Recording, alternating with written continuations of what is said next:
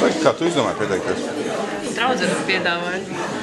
Viņa gribēja man pieteikt pārvērtībām, bet izrādās, ka pašai jānāk uz atlasīt. Bet, nu, es nemā gribēju pamēģināt kaut ko jaunu. Kā, Ko ceri? es ceru, es zinu, ka uztaisīs no manas baigo dāmu. Nevis panku, kā parasti. Kā, vienkārši kaut ko jaunu pamēģināt. Pēdējā laikā visur, kur piesakos, ka kaut kādi konkursi. Tā. Kā konkurence? Redz? Īpaši neuztrauc mani. Vairāk jau priekš sevis tas ne. Ja netikšu, netikšu, tikšu, tikšu. Jums jau nav savs zāle. Tas ir vairāk tāds normāls augājums, vairāk tā jāpriecājās, ja ilgāk saglabājas. Ar kādu jūsu motivācijas ir atnākušas divas pārvērtībām? Meitiņa atvilka. Meitiņa? Viņa gribēja, lai es kaut kādā ziņā mainos kaut kā. Bet es jau gribētu arī mēs lai abas kopā, lai varētu kaut ko izmainīt. Kas ir tas iemesls, kāpēc jūs esat šeit? Atvilka. Tas ir viens. Pagaidiet, meitiņa ir pati pienākusi, tad ir jābūt kaut kādai mazmeitai, jo nevar tā viens otru deleģēt, un viens uz otru atbildību nogrūst, ja? Nē, bet. Es atbalstu. Atbalstat ko? Ma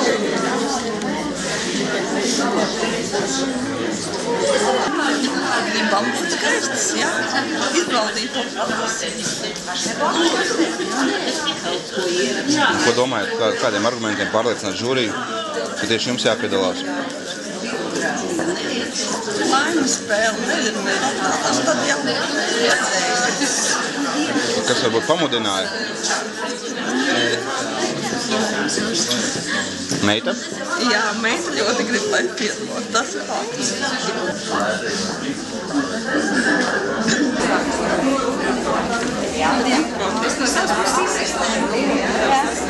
Gribās pārmaiņas dzīvē, gribās, lai izskats eh, raksturot arī mani eks ekspresīvo raksturu. Tad īstenībā mamma ir brīvais meitene. Nekus. Tieši.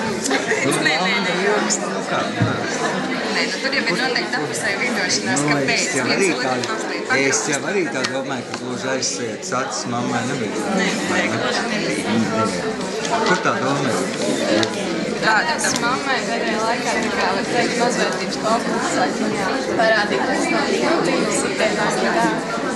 Tad es domāju, ka jāmudina šim pasākumam, vecākajiem automatiem. Tādas patas vārdas atbraukuši. Uh, vispār mani tas interesē pirmām kārtām tāpēc, ka šeit paši raidījumu vadītāji man vienkārši in, interesē viss kopumā. At, uh, īstenībā man nav mērķis uh, piedalīties raidījumā kā tādā, lai man tur uzņemtu, lai es tur rādītu vai nerādītu kaut ko, kas man ir pašai, kas man patīk.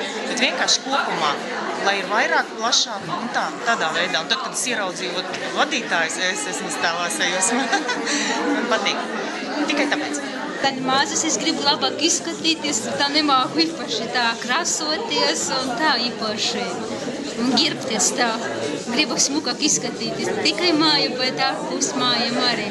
Cik viegli grūti bija pieņemt lēmumu piedalīties? Nu, tā es skatījos televīziju, baigi tā, tā ieraudzīju, ka citi sievietes pārvades, un paši arī sagribējis kaut ko sev mainīt vispār tā.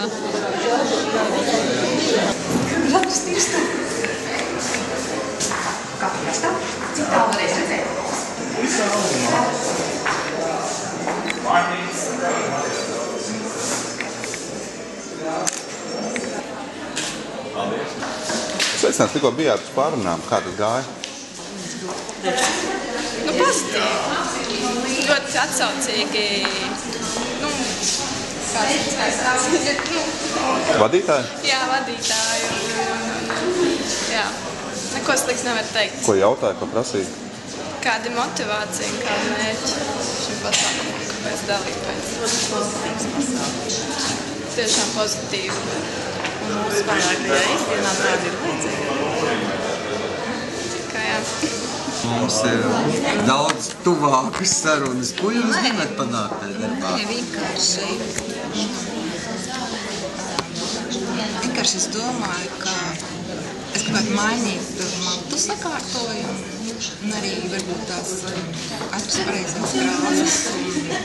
Bet māksliniekam pareizās krāsas, kā to var kāds ielikt no malas. Nu, tas ir savādāk. Nu, man liekas, likmēs. Nu jā, tā kā it kā gribētu apstāties. Nu labi, labi, bet tas jau nu vai nu ir dots no dabas, vai nu nav sajūtas krāsa, teiksim, harmonija, kompozīcija, proporcijas un viss tas, tas taču tomēr ir tāds. viena džinsa bits, bet mēģināt maksimāli dažādi. Vienu dienu šausmas, vienu dienu pieguļoša leģenda, vienu dienu vasarā kaut kādi kupli tiešām baloni, riktīgi svāži. Vienu dienu mati, Visi svēki, viendien visas. Bet, bet arī manā uzturē tas viss ir tomēr jāskatās tev pašai jārunā ar sevi, lai tu tavs apģērbs nebūtu pretrunā. Tu, teiksim, ir draudziņu bariņš, kas staigā rozā klētās, bet tev tas nepatīk. Ja tev tas galvā nav un tu to nevienu nedari. Drīzāk mēģini vilkt tās drēbītes, kas tev ir, nu, ko tu vēlac virsū, lai tev būtu stāsts, kāpēc tu viņus vēlac, lai tev būtu pamatojums, kāpēc tu viņus vēlac. Nu, teiksim, uzvilkt svešas drēbes kaut kādas un domāt pavisam savādāk, tas atkal nav forši. Ja tev ir kaut kāds spurainis noskatījums, tad tu vari ģērbt visu spuraini. Ja tu gribi būt romantiski, vēl romantiski, bet tikai lai to visu caur savu to, ka tu sev patīc. Un kāpēc tu to vēlas? Runā ar to meiteni, kāda tu izskaties pati savā nodabā. Un, un tad, tad tu nerunāsi, tad tu nebūsi pretī sev to darījusi, lai izlektu un vienkārši parādītu kādam kaut ko, kas skrietu kādam pakaļ, bet lai tu būtu pati sev un sev pati ar savu domu. Nu, īstenībā mums gāja labi, jo mēs izrādās esam perfekts. Tīri labi gāja. Meitai pamācīja, kas viņai jāizdara, skapi un sprādziens, skapī jāsameklē apģērba zilā. Un tā, tā, tā, tā izstāstīja sīkums, kas. Kur te bija iniciatori? Mama, Jūs atvedāt meitu tā kā? jā, un es pat, atvedu meitu un pati pie reizes arī, bet nu, man ir viss kārtībā, tā kā man tas tā. Vai uzlaboja pašapziņu, pacēla? Arī tas jau arī daudz, mums skolniekam tas vēl vairāk paceļ apziņu, ka tomēr viņš var un ir.